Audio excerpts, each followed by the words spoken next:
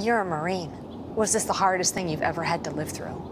Nothing compares to watching one of your kids suffer and go through hell.